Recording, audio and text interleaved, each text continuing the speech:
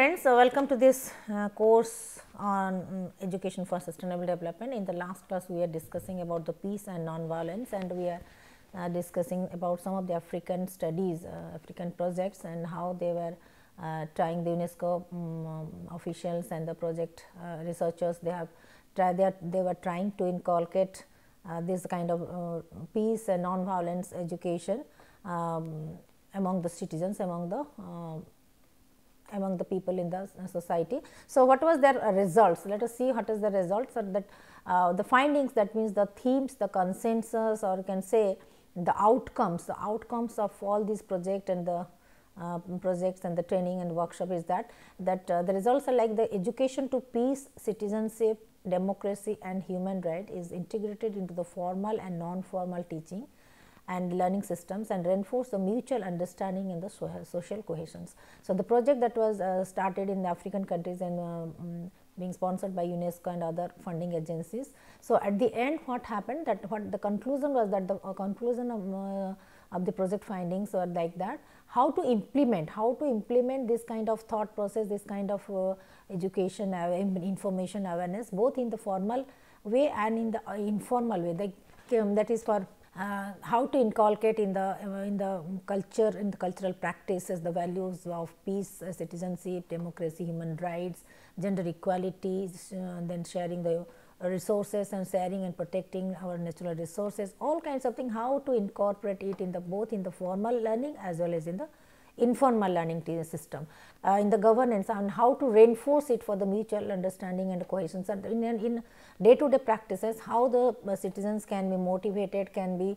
um, promoted, can be motivated, uh, encouraged to practice these things in the day to day life even not not that means beyond the classroom situations, beyond the educational institutions. That means in our uh, business or in the business practices in the day to day life uh, um, uh, workspace, workplaces also uh, how they can uh, that means uh, how can how they can practice it this uh, this kind of. So for that it's it definitely it requires a long term long duration long long time to build. But it is a you know like for example after this uh, world war ii this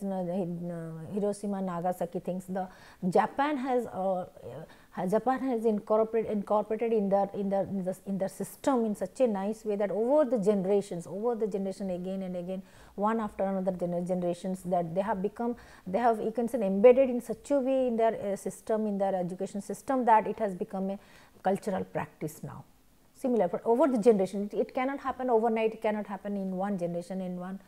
things. But over the generation if you go on practicing this if you go on implementing in our system like this then after 2 3 gen 2 generation or 3 generation then our people our culture will be like that because it becomes then a cultural features uh, uh, elements and cultural practices. So, the government, uh, so the empowerment, the civic engagement and the democratic participations of young African women and men are promoted through inclusive youth policies, youth led programs on the culture of peace. So, uh, so ultimately what happened the African women, African citizens they were encouraged, uh, encouraged to that means um, through like through youth volunteers, youth groups, youth policies, youth led programs.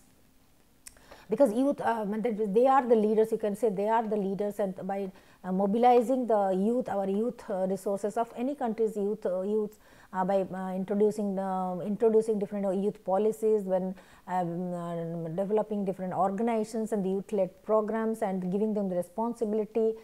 to volunteer and to, and engage them in various kind of the social activities um, health services. So, that then that can be that that can actually promote the culture of peace. So, when the so for this you know we have to engage our citizens especially the youth. So, youth they are the leaders they are the future um, that means they are the future um, uh, citizens of our you know future citizens future um, uh, you can say future um, that means uh, stakeholders future um, that means more future leaders. So, by through by initiating by mobilizing our youth by introducing by uh, different policies programs and uh, mobilizing them engaging them. So, we can build it kind of culture of peace and in Africa also the uh, this after this uh, kind of action research project they have also um, blended it in their uh, system through education uh, both informal informal way even again in, even in media through media also publicizing it in through media uh, media then um, and nowadays this is the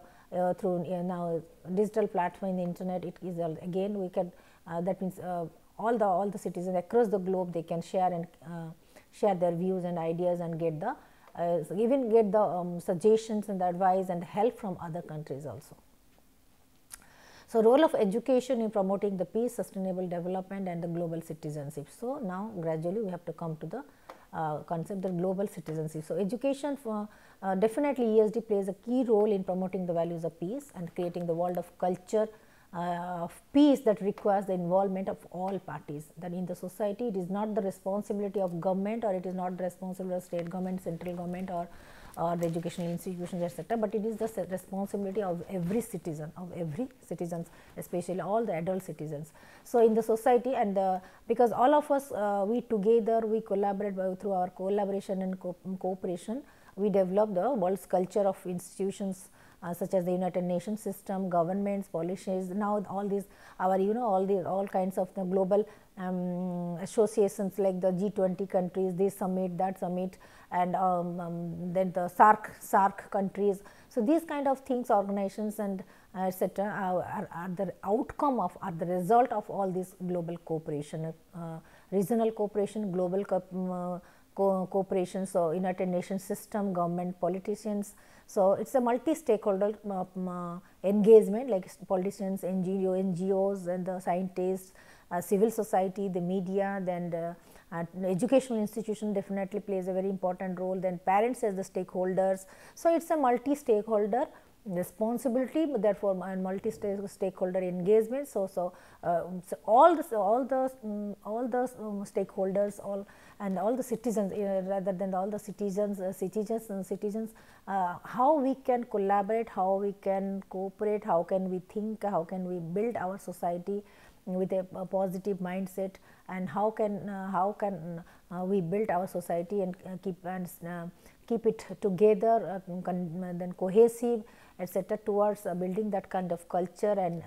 nation of um, nation of you know nation of peace nation of um, prosperity nation of universal brotherhood. So, for that reason global citizenship all of the, the global citizenship characteristics and the features should be uh, inculcated in, incorporated in our education system it should be nurtured among among our citizens. Uh, so, therefore, that is it that can only be possible in the multi stakeholder uh, say partnership uh, framework. So, now the development of the global citizenship although the peace education is often based on the schools and other learning environments, it should also involve the entire community. So, peace education when we are talking about it is not just about the school curriculum or the college curriculum or the um, school education or the formal uh, syllabus, but it is about uh, educating the whole community, educating the whole entire community, the society. So, as a peace education is not only necessity in the areas where there are conflicts, but also in all society. That means, it should be it should be embedded in our society in such a way that every citizen, every community, every um, um, every person, every individual should be conscious of uh, conscious of developing that features like being positive, being cool, being calm, being responsible, being generous and being um, being you know open minded in and being helpful, being empathetic. So, all kinds of the features it, these are because these positive characteristics are uh, you know are the components of the peace education by just giving um, developing the content and um, uh, developing the books and uh, distributing it in the schools and uh, putting it in the syllabus will not make the society a peaceful society. It has to be reflected in our thought, in our thinking, in our emotions, in our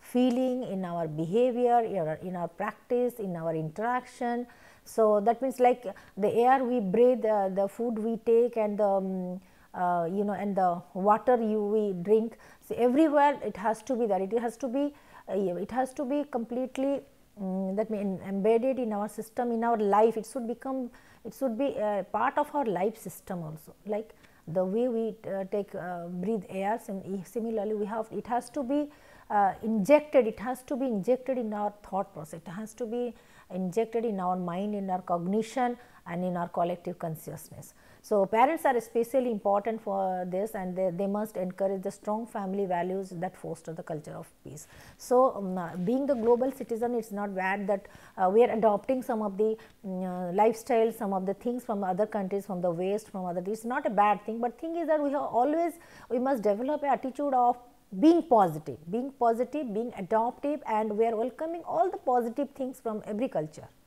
Being uh, um, culturally responsive, culturally um, um, responsive, culturally um, um, you can culturally tolerant, culturally caring, uh, caring people, culturally responsible people. So, we uh, respect every culture, but at the same time if we want to adopt because in the process of acculturation definitely knowingly or unknowingly consciously unconsciously we are adopting some of the uh, habits, some of the behavioral patterns, some of the things, some of the thought process uh, etc. from the west also. There is a complete blending of mixture of east and west, north and south that is that is not a bad issue, this is a good thing. The thing is that we always focus on the values, values which are universal values, which are positive values across the culture and caste and creed and ethnic background. So, so, so learning the new things from others, uh, the adopting some of the western values in our society like uh, in our in eastern countries our society is not a bad thing, but always we have to set up in a fix in our mind that we have to be positive, we have to be positive irrespective of any culture caste creed etc. So, that kind of attitude that kind of belief system that kind of values that kind of habits that kind of mindset we should develop in our society that can only bring the culture of peace. So, being positive, being tolerant, so we have to develop one by one um, um, positive characteristics, positive attributes. So, so that can only establish the culture of peace. So, now in India also we have this uh, Mahatma Gandhi Institute of Education and Peace that is MGIEP, it is being uh, you know it is being uh, sponsored by um, it is a part of government organizations our government, government of India and it it has the it is you can say it has the um, network with uh, it's a, it, it, works collaboratively with UNESCO office. So, um, so it uh, that this, this MGIEP in India actually advocates primarily advocates for this peace education and youth engagement and also educational uh, educational curriculum and etc. So, education uh, ESD for uh, like MGIP's framework for the 21st century. What this M. Mahatma Gandhi Institute of Education and Peace uh, has actually designed the framework for um, India uh, in 21st century that is education, uh, ESD education, uh, ESD and peace develops people's skill to take action that improves the quality of life now and the future generation. So, definitely their framework this peace uh, that means the MGIP's framework or uh, ESD with peace uh, along with the peace education for developmental as well as the end peace. And not only it enhances the people's skills, um, competencies, uh, they um, empowers them with uh, job skills and uh, other kinds of skills and but also it improves the quality of life, quality of life for the present as well as for the future generation because it establishes a kind of uh, mutual understanding, trust, building the trust, then rapport building, then cohesiveness and uh, team building, cooperation. So, all these kinds of things uh, um, uh, for the 21st century citizens and it would be meaningful for MGIP to recognize the fact that uh, there are several crucial questions issues facing people in all the societies irrespective of any challenges irrespective of any queries and any mm, you know cultural and contextual and um, um, um, regional and um, language related issues any kind of challenges uh, because uh, challenges peace can only settle down. Peace can only bring the solutions. And how to achieve the peace, how to practice the peace, look uh, like being positive, being developing positive character strength, being uh, you know enhancing our skills, listening skills, tolerance, then competencies in communications, uh, then um, cooperation, then collaboration. So, that is why nowadays in uh, the 21st century we are very much advocating for uh, learning pedagogy that is which is more of learner center, more of um, problem problem oriented problem centric problem based learning project based learning cooperation we are giving more emphasis to col collaboration cooperation and in the especially in the virtual platform also in the virtual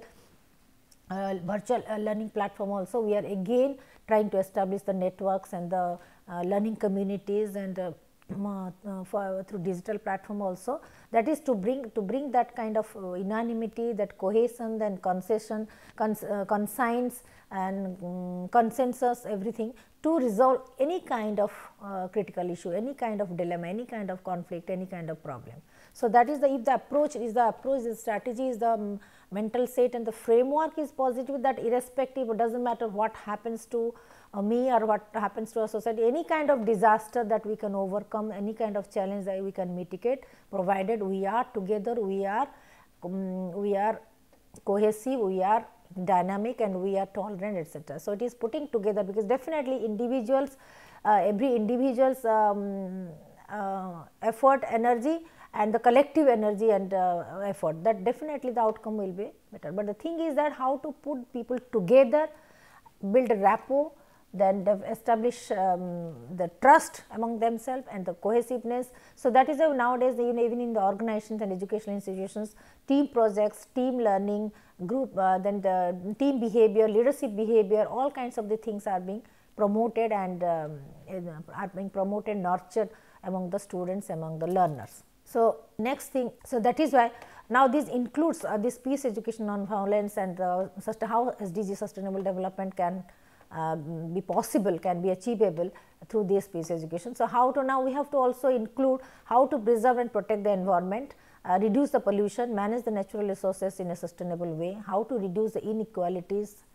that exist between different people in uh, the all parts of the country to protect the human rights, how to develop peaceful and harmonious communities by promoting understanding people who are different, uh, that is people who are different from one another. That means, so in the uh, if we uh, build uh, try to build up an inclusive society, then we have to take care of every section, every group of people like the children, the adult, the women and then the rural people, then the urban people, then um, skilled people, educated people, uh, then or we can say um, uneducated or the less literate or less educated uh, underskilled people how to promote and how to bring them um, to the mainstream. That by assessing their need by educating them by giving training by um, empowering them then the, uh, then facilitating them through financial resources everything. That means all our efforts would be mobilized would be motivated and directed towards the collective uh, development of our society it is not about you and me and he or she, but it is about our people that we feeling has to be there. So, that is why it through this approach through this positive approach all kinds of inequalities deficiencies can be uh, can be uh, removed like uh, how to how to reduce this inequality not in terms of gender, but also resource um, access to resource, education, health practices, services. That is why you know during this pandemic also this actually it is even though it is a disaster it has also um, come as a uh, blessing in disguise also because during this this, this uh, because um, because of this challenge we have also learned we have also updated ourselves we have also learned certain new things how to be um, how to that means how to be um, how to be stay um, together how to stay together how to serve other how to think about others. So um, and uh, others uh, we are also that means in this process uh, this during this process also we develop the cohesiveness and the uh, learn about the um, we feeling, learn about the uh, togetherness. Similarly, uh, we are also very as the uh, during this pandemic also as you know pollution level also greenhouse effect also reduced a lot. So, how we could also we could also learn about the, some of the sustainable ways of uh, uh, living, sustainable ways of resource um, utilization in a very um, natural process in a sustainable, sustainable way. So, that we can preserve it, we can um, we can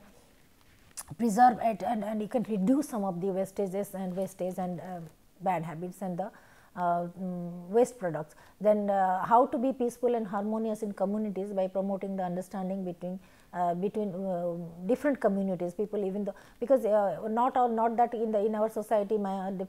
not only the diversity is there in terms of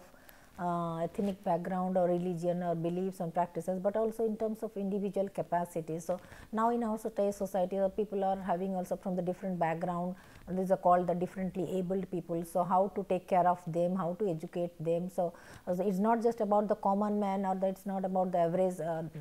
population, but it, we should also be very careful about the differently abled people also. So, that kind of understanding, that kind of compassion, empathetic attitude, thinking for others that also brings a kind of harmony in our society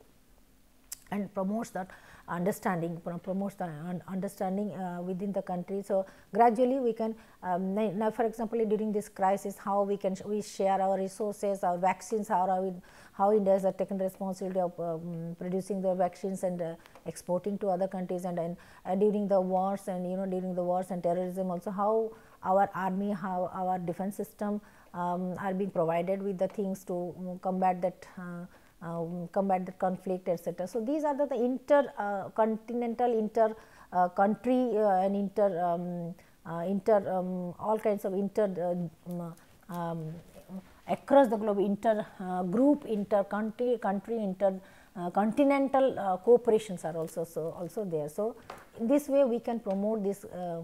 attitude of global citizenship. So, how ESD has uh, in, in its many forms has uh, permitted most of the systems of education across the globe. So, similarly we have to uh, look at the different education systems in different countries like you know in European countries the Finland, uh, Finland has a very good uh, very healthy education system and they are, they are the um, happy people and when, when the global uh, index of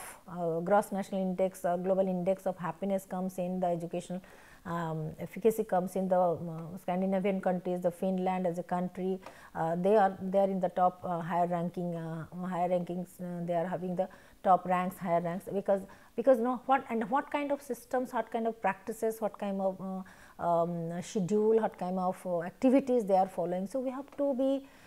we have to be vigilant, we have to be um, observant we have to observe all these things because um, observing other countries uh, um, systems, their education, their um, all kinds of the science, technology, innovations. We not only we learn the new things, but also we try to apply it in our case. So, there is so taking uh, nothing there is nothing bad in uh, accepting in welcoming and adopting the positive things. So, looking at or comparing our uh, education system to other um, countries education system, be it European uh, education system and or in Australian and um, or, or, other countries education systems always we can evaluate we can uh, we can learn about the new practices they are using they are uh, practicing they are using and how we can adopt these in our country in our context the, with the new education policy also new education policy 2020 so our all kinds of um, educational uh, things have been updated have updated because we have to compare ourselves across the globe that in the global context so um, uh, to bring parity, to bring uniformity. Um, so, um, uh, in in, the, in our so that is uh, this um, the MOOC courses, this Coursera MOOC courses, distance learning courses. Again, these are an effort uh, of um, the government to you know to um, to provide uh, quality education, to provide the quality edu education to all citizens, to all stakeholders, to all learners across the across the country as well as across the globe. So, so the primary thing is that